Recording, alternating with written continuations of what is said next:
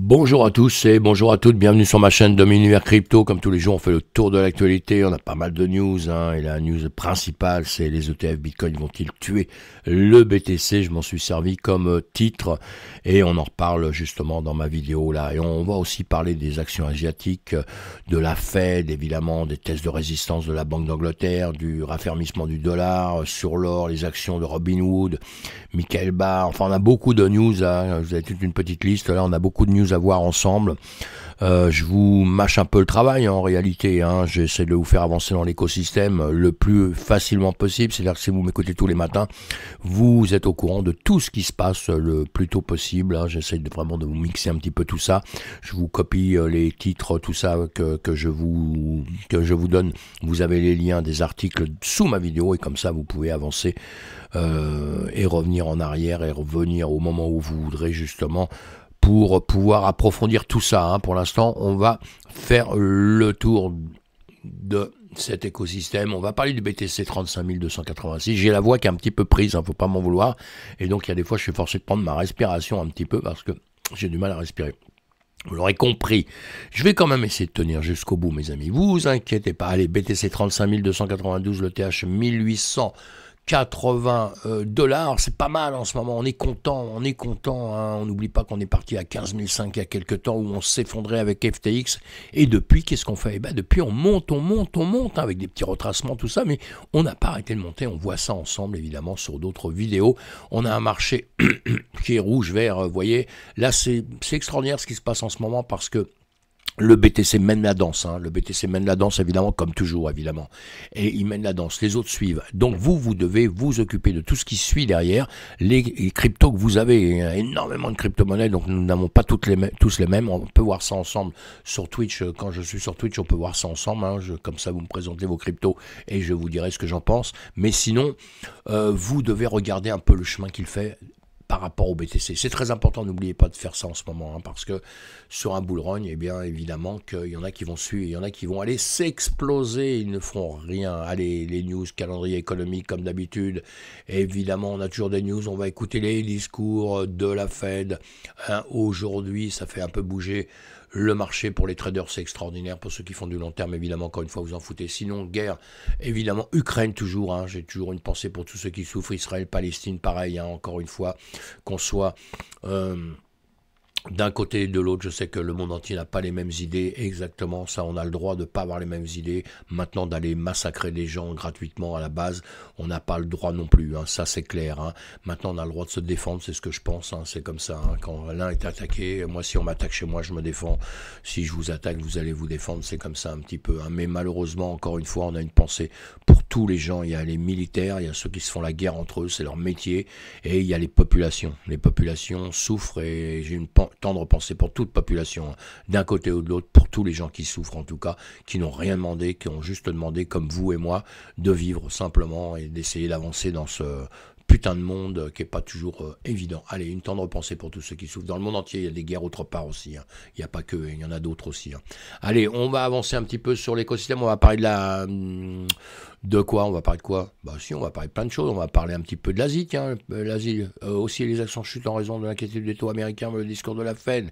Les marchés se replient. Oui, l'Asie, l'Asie, les marchés boursiers asiatiques ont reculé mercredi anticipant les futures orientations de la Fed exprimées par Jérôme Powell et d'autres décideurs. Les rendements obligataires ont baissé, reflétant les attentes d'un possible de la politique monétaire. Les baisses des prix du pétrole et les incertitudes économiques sont également influencées, ont également influencé les marchés, allez, c'est pas la peine d'aller plus loin, on en parle tous les matins. On voit bien qu'on est un peu dans l'incertitude en ce moment. La réserve fédérale, la réserve fédérale se trouve dans un carrefour décisionnel complexe oscillant entre le maintien de la stabilité économique et la lutte contre une inflation tenace. Le débat interne de la Fed est fortement influencé par un ensemble de données économiques contradictoires. D'un côté, une croissance économique robuste, au troisième trimestre, suggérant une économie plus résistante que prévu, tandis que de l'autre, des signaux de ralentissement sont manifestant dans des secteurs clés comme euh, manufacture et emploi. Christopher Waller, monsieur gouverneur de la Fed, souligne la nécessité d'examiner attentivement les données explosives de croissance économique avant de prendre une nouvelle décision de politique monétaire. Cette prudente est contrebalancée par l'optimisme de la gouverneuse, gouverneur Michel Bowman, qui voit dans la récente performance du PIB un signe de vigueur économique justifiant une politique monétaire plus restrictive. En outre, le rendement obligatoire à long terme ont récemment diminué, ce qui pourrait indiquer une anticipation de ralentissement économique par les marchés. Ce recul un impact significatif sur les décisions de la Fed, comme l'a noté Laurie Logan, présidente de la Fed de Dallas, qui mentionne la nécessité de maintenir les conditions financières strictes pour amener l'inflation l'objectif de 2% de manière durable. Bon, vous voyez tout ça, on ne sait pas trop, chacun a son idée, euh, mais tout ce qu'on veut, c'est que ça aille mieux demain. évidemment, moi aussi, mais pour faire un petit bilan de ça, grosse incertitude hein, sur les marchés quand même, hein. grosse incertitude. En Europe, la Banque d'Angleterre, la Banque d'Angleterre a annoncé que les contreparties centrales de Britanniques ont démontré leur résilience suite à des textes de résistance stimulés stimulant pardon, des conditions de marché extrêmes. Cette annonce de la Banque d'Angleterre est un signal rassurant pour le système financier britannique indiquant que les contreparties centrales peuvent supporter des chocs importants sans euh, défaillance, la référence de ces scénarios plus graves que les crises précédentes illustre une capacité d'absorption des chocs supérieure, ce qui est crucial pour maintenir la confiance des marchés en période de volatilité. Cela démontre également l'efficacité des mesures réglementaires prises depuis la crise financière de 2008 pour renforcer le robuste, la robustesse des institutions financières centrales. On a, toujours comme spectre le 2008 hein, quand même. Hein. On, tout le monde, on a beau donner des signes de réjouissance, on content, machin, ou etc. Mais dans l'ensemble, on est toujours très inquiet avec toujours la perspective de se retrouver dans une catastrophe un peu plus grande dans les mois à venir. Donc on a toujours peur de ça. Je vous dis, il y a une grosse, grosse incertitude avec tout ça. L'euro a enregistré une troisième session de baisse consécutive. Impacté par un dollar fort, les investisseurs attendent des clarifications de la Fed suite à des signaux mixtes récents. Le prix au comptant de l'or a diminué tandis que les contrats à terme sont stables. Le marché anticipe les propos du président de la Fed, Jerome Powell, pour orienter leurs attentes et l'évolution future des taux d'intérêt. Donc tout le monde attend euh, Powell, on est, bien d'accord. Hein. Les commentaires de Powell pourraient confirmer la fin des hausses des taux, une position déjà suggérée par la Fed récemment. Les marchés des contrats à terme ont une faible probabilité d'une hausse des taux d'ici janvier et envisagent des réductions dès mars. On verra bien hein, cette perspective, si elle se concrétise, pourrait renforcer l'attrait de l'or qui ne gère pas de rendement. Les autres métaux précieux tels que l'argent, le platinum et le palladium suivent également une tendance à la baisse, ce qui indique une réaction plus large du marché des métaux précieux aux, perspectives pardon, économiques mondiales et aux politiques monétaires. Donc on verra bien, on verra bien tout ça. Évidemment, dans les news, on a quand même, parce que lui on suit énormément, c'est Robin Hood. Euh, Robinhood Market Inc. a connu une baisse de ses actions suite à une publication de revenus trimestriels inférieurs aux attentes, affectés par une réduction significative des volumes de crypto-monnaies. La société a tout de même enregistré une augmentation de 29% de son chiffre d'affaires net annuel, donc c'est pas mal. Hein. Euh, Robinhood, qui a popularisé le trading de crypto-monnaies sans commission, subit le contre-coup d'un marché des crypto-monnaies en contraction, reflétant un déclin de l'intérêt des investisseurs après une période de forte croissance durant la pandémie. La baisse de 55% des volumes euh, notionnels de cryptographie est un indicateur clé de ce ralentissement. Cependant, Robinhood cherche à rebondir en, annonçant son expansion en Europe et au Royaume-Uni pour le trading de crypto-monnaies, qui peut être interprété comme une stratégie pour diversifier et étendre sa base d'utilisateurs face à un marché américain volatile. La suppression de certains jetons sur sa plateforme suite à ces pression réglementaire montre également l'adoption de l'entreprise aux évolutions du cadre réglementaire du secteur. Réglementation, réglementation, réglementation. Et sinon, sur les graphiques, évidemment, qu'on voit tout ça ensemble sur à d'autres moments. Hein. on peut se retrouver sur Twitch ou suivre sur d'autres vidéos où je vous parle euh, des marchés et du reste. Et on voit bien le S&P 500 ici. Nous sommes encore, encore en journée en S&P 500, hein, comme je vous l'ai dit tout à l'heure. Bon, une bonne, une bonne hausse. L'or, là, qui redescend un petit peu. Les marchés asiatiques, pour certains, euh, qui, sont, qui étaient remontés en, jour pour rebaisser un tout petit peu ici, hein, puisqu'après, évidemment, vous vous mettez en 4 heures, en 1 heure, tout ça, et on voit les marchés un peu moins bien, vous voyez, on voit un peu mieux tout au moins, hein. donc on était sur des hausses, et là d'un seul coup on se retrouve, on voit bien en dernier moment sur euh, des baisses. Allez, on voit ça autrement, on va pas rester là-dessus. Et euh, ici, c'est quoi? Je vais, vous je vous montrer le, DXY qui se refait depuis quelque temps une petite euh, reprise, hein, comme je vous l'ai dit. Et ici, marché de la crypto-monnaie, marché de la crypto-monnaie, le BTC, on n'oublie pas que tout suit euh, le BTC, notre cher Bitcoin, hein, évidemment, tout suit ce BTC. Quand il monte, les marchés montent, quand il rebaisse, les autres baissent. Hein, et vous en profitez pour comparer un peu tout ce que vous avez justement avec le BTC pour voir les réactions qu'elles ont en période où ça baisse et la, réaction qu'elle a en période où ça monte. Ça va être très important pour euh, le futur euh, bull run, évidemment. Hein. Et on est déjà pas mal, parce que on n'oublie pas quand même là, on n'oublie pas qu'on est parti de 15 500 à peu près à un moment donné, au plus bas quasiment, hein, monter maintenant à 30, 30 000 au-dessus des 30 000, donc au-dessus des 32 000, 33 000, 34 000, 35 000. Donc sincèrement, on se porte très bien. Le marché, notre marché à nous va très bien. Même s'il pouvait faire un petit retour, ce que je pense que je dis à longueur de temps, s'il n'y a jamais ce retour, eh ben, tant mieux, hein. il n'y a pas de problème, moi je suis content. Hein. mais on quand même, on fait attention hein, aujourd'hui. Hein. c'est ce que je dis à tout le monde. Michael Barr de la Fed prône un cadre fédéral robuste pour les stablecoins. Les stablecoins, maintenant, tout le monde parle des stablecoins à longueur de temps. Évidemment que c'est très important le stablecoin on, s'est rendu compte que ça va être quelque chose de très, très, très puissant dans l'écosystème, évidemment. C'est le vice-président de la Fed pour la supervision insiste sur la nécessité d'une réglementation fédérale des stablecoins pour éviter la création d'un argent privé, non régulé. On en est toujours dans, au même sujet.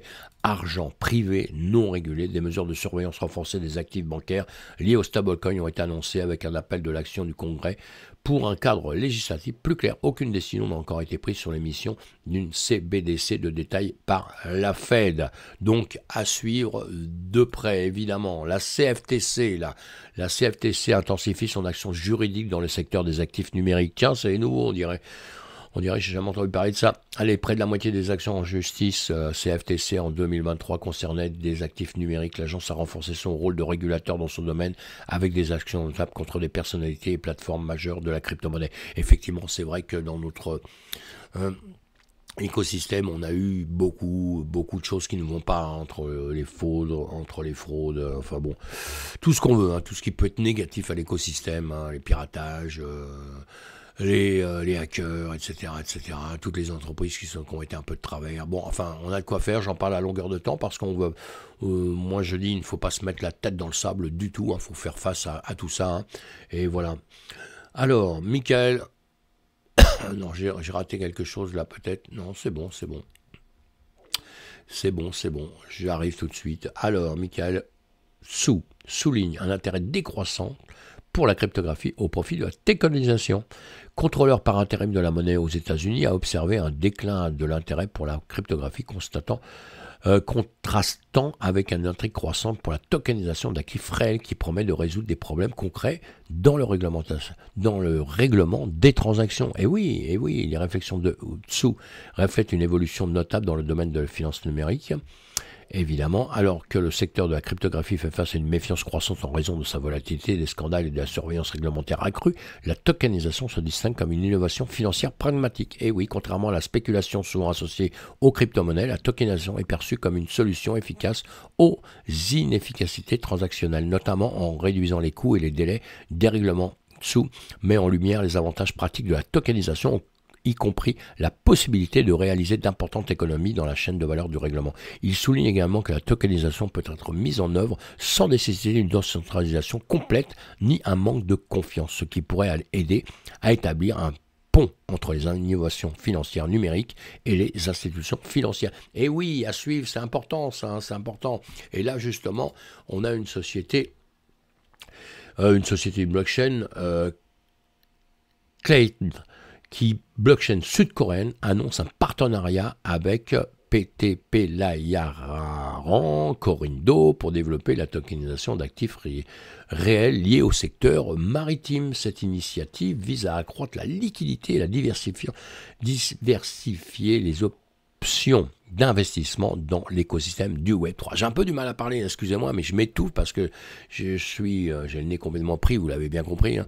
et donc euh, il y a des fois j'ai du mal un petit peu à, je suis au L'annonce de Clet illustre l'intérêt croissant pour l'utilisation de la blockchain dans la tokenisation d'actifs réels, un processus qui pourrait transformer les méthodes traditionnelles de financement en les rendant plus accessibles aux investisseurs individuels et institutionnels. évidemment, en utilisant les actifs des navires comme garantie, Clint espère non seulement faciliter le financement dans le secteur maritime, mais aussi apporter une nouvelle dimension d'investissement dans le Web 3. Cette stratégie s'aligne sur les tendances actuelles des diversifications des portefeuilles d'investissement en intégrant des actifs du monde réel dans le domaine numérique. C'est super. Le partenariat est encore à ses débuts, mais le directeur de la fondation Clint Sankmin Seo souligne l'expérience pratique acquise par le réseau dans les concrétisations de projets de tokenisation, ce qui pourrait annoncer des développements prometteurs pour l'avenir de la finance décentralisée. Donc ça c'est une bonne news, c'est quelque chose de bien, hein, évidemment, la tokenisation. Kazakhstan. Le Kazakhstan bloque Coinbase pour non-conformité à la nouvelle législation pour les actifs numériques. Bon, on comprend, on va pas aller plus loin sur cette annonce, ça sert à rien. Mais euh, voilà, hein, les pays aussi, on a aussi des pays qui choisissent un petit peu, qui veulent travailler avec qui ne veulent pas travailler, ils vont être plus durs avec certains, avec d'autres. Hein. mais partout, il va falloir être être clean hein, pour, avoir ses autorisations de travailler euh, donc chaque endroit du monde. Hein. On a bien compris qu'il y a des pays qui sont plus durs que d'autres, hein. mais pourtant au Kazakhstan, ils travaillent déjà avec, euh, avec euh, Binance, euh, Bybit, ils travaillent déjà avec des, des, des, sociétés comme ça. Et le cas de Coinbase au Kazakhstan pourrait être un indicateur de la manière dont les questions de conformité réglementaire et de souveraineté numérique se joueront à l'avenir pour les entreprises de crypto-monnaies opérant dans les marchés juridiques complexes et variés. Vous voyez ce que je vous disais. Donc on avance euh, sur tout ça. Et on a la troisième plus grande banque d'Allemagne lance un service de garde de crypto-monnaie. Bah, c'est bien, ça démontre ça, ça démontre une volonté de la banque de rester à la pointe de l'innovation financière, même dans un marché baissier et un environnement réglementaire difficile. Donc c'est bien, c'est la troisième plus grande banque d'Allemagne. Hein. Elle a lancé une plateforme de conservation d'actifs numériques pour les investisseurs institutionnels exploitant la technologie blockchain. Cette initiative survient malgré un climat réglementaire européen de plus en plus strict en matière de crypto-monnaie. Donc on les encourage à avancer. Il faut qu'il y en ait beaucoup d'autres qui fassent la même chose. On va suivre ces banques évidemment. Seba, la banque Seba alors, la banque Seba élargit sa présence en Asie avec une nouvelle licence de crypto à Hong Kong. C'est pareil, Seba Bank, une institution financière suisse spécialisée en crypto-monnaie avec une licence à Hong Kong pour fournir une gamme de services liés aux actifs numériques. Cette expansion renforce la présence de la banque dans la région APAC et, et s'inscrit dans un contexte de réglementation favorable aux entreprises de crypto-monnaie à Hong Kong. Hong Kong, on a bien compris, qui avançait énormément, se place de plus en plus avec un maximum de sociétés qui viennent euh, s'implanter euh, chez eux. Hein. C'est un peu Hong Kong, Dubaï, d'autres pays comme ça, qui, qui, qui, qui commencent le combat de celui qui deviendra le plus puissant dans, dans ce domaine. Hein. On le sait, bon, bah écoutez, ça c'est bien. C'est bien. Euh, qu'est-ce que je voulais vous dire? On n'oubliera pas aussi Binance. Binance, il va y avoir la Blockchain euh, Week 2023 à, Istanbul. Donc on suivra tout ça. Hein. On sait que Binance souffre, on en parle à longueur de temps. Donc on va suivre tout ça à longueur de temps. Et on revient sur Cryptos. On revient sur Cryptos qui nous parle, et ça, ça m'intéresse énormément. Les ETF Bitcoin vont-ils tuer le BTC Arthur Hay, cofondateur de, BitMEX, pense que oui. Arthur Hay, donc émet des réserves sur les effets sur les effets des ETF Bitcoin, suggérant qu'il pourrait nuire à l'essence décentralisée du Bitcoin en concentrant la propriété entre les mains des institutions financières. C'est tout à fait ce que je pense. J'en parle depuis longtemps autour de moi. Je sais que les gens sont chauds avec les ETF, mais je pense sans comprendre vraiment ce que c'est, que c'est vraiment le monde traditionnel. C'est de l'argent qui va être bloqué pour euh, permettre le profit de certaines grosses, grosses, grosses sociétés. Mais moi, je suis pas sûr du tout que ça soit dans, euh, le, dans le rôle euh, de Bitcoin. Voilà. Et je pense que l'équipe Satoshi Nakamoto ou Satoshi Nakamoto, si on lui parlait de TF aujourd'hui et tout, je pense qu'il serait pas du tout, du tout dans la course, il serait pas du tout content. L'intervention d'Arthur Hay révèle une préoccupation profonde vis-à-vis de la décentralisation potentielle du Bitcoin via les ETF et bien sûr qui, selon lui, pourrait aller à l'encontre des principes fondateurs de la crypto-monnaie. Entièrement d'accord. En théorie, si les institutions comme BlackRock monopolisent une grande partie du BTC disponible via des ETF, cela pourrait réduire la liquidité sur les marchés ouverts et placer une part substantielle de Bitcoin sous contrôle institutionnel. Évidemment, et c'est ce qui va arriver, mes amis. C'est ce que je dis, je le dis depuis des mois, depuis longtemps, longtemps, euh, et je suis content que quelqu'un ait repris euh, ce genre de choses, vraiment. Cela pourrait entraver la capacité des individus à utiliser le BTC comme une monnaie libre et non régulée, un des principes des principaux attraits de Bitcoin. On n'oublie pas ça. Il faut se le mettre dans la tête, ça. C'est. Euh, Ah, il met en garde contre une possible contradiction entre la hausse du valeur du Bitcoin due à l'afflux d'investissements institutionnels et la perte de son utilité et de son caractère décentralisé. Je suis entièrement d'accord. Cette décision critique invite à une réflexion sur l'équilibre entre l'adoption institutionnelle du Bitcoin et la préservation de sa nature décentralisée. C'est ce que je dis à longueur de temps. Je pense que beaucoup, euh, beaucoup comprennent, évidemment, hein, beaucoup comprennent. Je viens de passer un, week-end avec des, hum, des maximalistes Bitcoin, on va dire maximalistes. Bon, il y a les extrémistes maximalistes, on sait très bien que les extrémistes, moi je suis pas trop euh, les extrêmes, je suis jamais dans les extrêmes, moi, hein. je suis plutôt euh, plutôt modéré dans ce genre de choses. Mais mais mais le BTC, c'est le patron, mes amis. Hein. C'est le patron, la patronne, tout ce que vous voulez. Le chef, la chef et tout ce que vous voulez. C'est lui le plus solide. Et à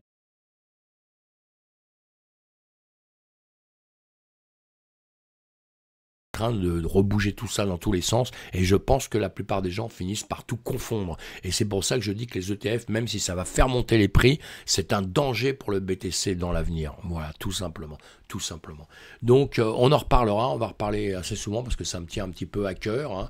euh, donc euh, on en reparlera mes amis. Allez à plus tard. Faites attention à vous. Soyez prudents.